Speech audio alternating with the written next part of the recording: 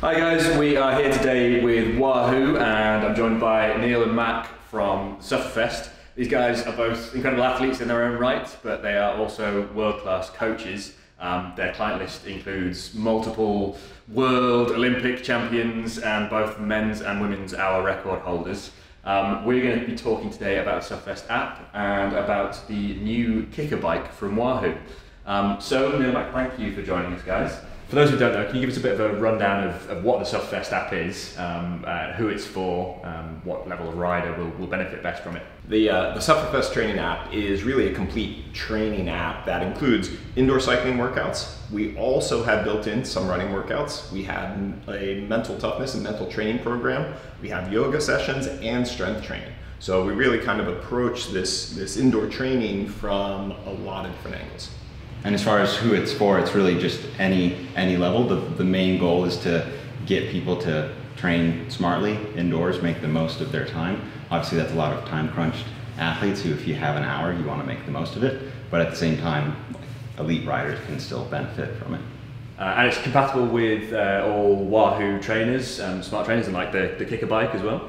So the, the Sufferfest training app actually can be used with a large range of trainers, even ones that aren't, you know, something as, as uh, advanced as the KICKR bike. Uh, a trainer that doesn't have any of that connectivity can still be used for you to do the workout, though you're gonna get the best experience using a smart trainer like a KICKR or KICKR bike, where you're gonna have that integration with the app where it's gonna connect and you're gonna see all the information with power output and if you have the right sensors as well, heart rate, cadence, all of those elements are going to be included in that uh, data from the app.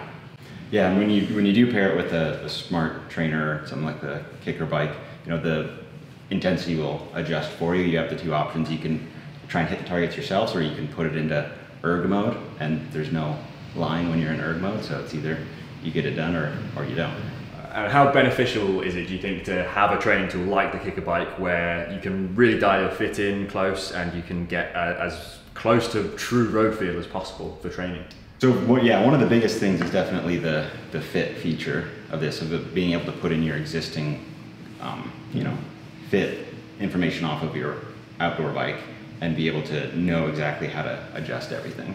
Um, it's really important to, you know, keep that fit similar to avoid injury. Um, it also makes it really great for if there's, you know, you, multiple people want to be using it. The other uh, really interesting thing too is you can play a little bit with fit and position. So one of the cool things with the KICKR bike there is the, the different uh, adjustments for actually crank length. You can go from a 165 to a 167, 5, 170, all the way up to 175 and assess how you're able to ride and what kind of power you're producing and what your heart rate response is for, for doing, doing different efforts and make any adjustments with the saddle position as well and see how, how that feels to you without being out on the road and kind of stuck and not necessarily knowing whether it was a, a good or bad thing for you to do. Well, can you give us a rundown of what uh, what 4DP is um, and, and what's the difference between that and FTP and why would you recommend using one over the other? 4DP is really a method of training that we use and it's looking at four dimensional power because your capacity on the bike is more than just like that sustained power. So threshold power, FTP, functional threshold power, is the one value that tends to be something that more people think about and know about. But there's very few races when we look at like actually competitive cycling that are won just as a as an FTP test. There is a range of power outputs then that are associated with performance. So VO2 max is something we do in the lab in a kind of sports science setting, but we look at max aerobic power, kind of five minute power, as another element that's really important for success for something like an individual pursuit. And then there's anaerobic capacity. We use a shorter term effort then, about a one minute all out effort. Tells us a bit about anaerobic capacity, which is really kind of deep, digging deep into that, you know, on, off, way over threshold. And then there's really true kind of sprint power neuromuscular power, your five second power. And what we do with the training app is we actually have targets for all the workouts using those four different values depending on the type of interval. And so it really customizes any workout to a given individual's capacity. So these training plans are they're, they're tailored to um, individual uh, people, and they're going to be as beneficial for a, for a beginner rider as they are for an experienced rider. Um, if someone's just getting used to starting with the app, um, what's what piece of advice would you give to them? So one of the things with our training plans that's that's unique and I'd say superior to like just an FTP based plan is when you when you do the full frontal 4DP test, we get to see where your relative strengths and weaknesses are. And, and physiologically speaking, those metrics are always going to be in a specific ratio. And knowing where you are at the start of a training plan, where you might be limited, allows us to give you a more specific plan to your weakness to get you to the same goal. So if you're a, a time trialist who wants to train for a time trial and you have a VO2 or MAP weakness, the training you should be doing at the start to get you better, at sustained efforts at the end is, is different compared to someone who has a sustained weakness. And if uh, if someone does think they might be overtraining, then um, if recovery is so important, um, is there a, a, sign or a signal that they'd have to look out for? What's what's the best way to see that? Uh, yeah, a really easy one to see when you're on the bike if, is if you do have a heart rate monitor hooked up to the app. Is what you'll see with fatigue is that your heart rate will be slower to rise during efforts. It won't hit as high of a peak, and it'll be slow to come back down. And so that's what we see a lot of times is, is when someone gets excessively fatigued, they think that, oh, my heart rate is lower for this hard effort. I must be doing, I must be getting way fitter. And then they'll just keep going, which is the opposite of what you want to do at that point. Yep. Another thing that will often happen is, you know, impacting your, your motivation.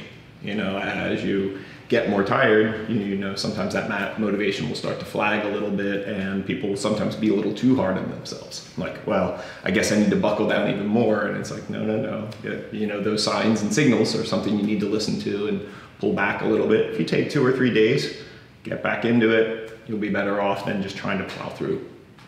Now, for anybody who hasn't used uh, the Sufferfest app before, um, it can be brutal. Um, you guys are evil geniuses, uh, but um, it, it, really trains mental toughness as, as well as physical training. Um, how important is that in, in a race setting? Um, you guys are obviously very familiar with the hour record.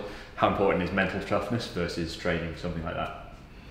Oh, it's, it's, it's massive. Like you can, you can be the fittest person in the world, but if your motivation is poor or you don't believe in yourself or as soon as it gets hard, you just pull the plug, then it doesn't matter how fit you are. And being able to get through the rough patches, which especially in an hour record, there's plenty of those during that. Being able to continue to push on is, is what makes the difference between hitting goals or doing your absolute best versus falling short. The, the mental training is absolutely critical component to success and not just in, in the, the sporting side too. This goes and carries over into other areas of life. There's a, a mental component to things that we do and developing those skills and that capacity is really going to help you again in what you do on the bike. Like this morning, actually, I was doing workout and it was a longer, longer effort, and uh, we're in the middle of the tour of Sufferlandria right now, on stage four, and I just had to break it into pieces, manage it, and you know that carried me through. And finally, I guess, uh, how important do you think a structured indoor workout plan is for, for a full training plan someone? In my personal experience, it's, it's massive. The, the first time I really realized the benefit was in 2014 when I broke my collarbone and was stuck inside for eight weeks. And then another two weeks after that, I was at collegiate nationals and had my best collegiate nationals ever and was much fitter than I'd ever been before. And it's because everything was just completely structured. There was no, there's no waiting at lights, there's no interrupting intervals. There's no going too hard because there's a climb that you have to get over to get home. It just makes every workout precise, which a lot of the times is is exactly what people need, especially if you've hit a, a plateau in fitness. Another big thing we have is kind of purpose and progression. That we have purpose when we get on the bike for specific sessions, and then we can assess and, and build progression and, and a little bit of an improvement, a little bit of an increase in demand and those kind of things really carry over really well. Um, the indoor, you know, is something that I've been doing for a really long time. I was uh, an undergraduate and getting ready for a triathlon race, and I uh, lived in an area where outdoor riding in the winter was not really that, you know, just wasn't very conducive in, in uh, Pennsylvania where I was, and so I was riding trainers and writing some of the workouts that are actually, you know, in, in use now, 30 some years later, um, in, in the app. And so the yeah. gains that you can the make. blender workout is one year younger yeah. than I am. Yep, exactly. So uh, they have some vintage to them, and we've refined uh, some of those workouts. But really, it's about that purpose and progression that that you can really, really dial in with with uh, the indoor and indoor workouts. Well, Neil, Mac, thank you so much for joining us. Uh, that was incredibly useful, incredibly interesting. Um, these guys, as we've said, are brutal, evil geniuses. Um, I'm going to be trying out the uh, full frontal 4DP challenge myself and probably going to throw up doing it. Um, but if you want to try it for yourself, uh, then you get a 14 day free trial with the Sufferfest app. Or if you buy any Wahoo KICKR product, uh, you're going to get 30 day free trial. Um, and the new Wahoo KICKR bike is going to be available from Evans Cycles very soon.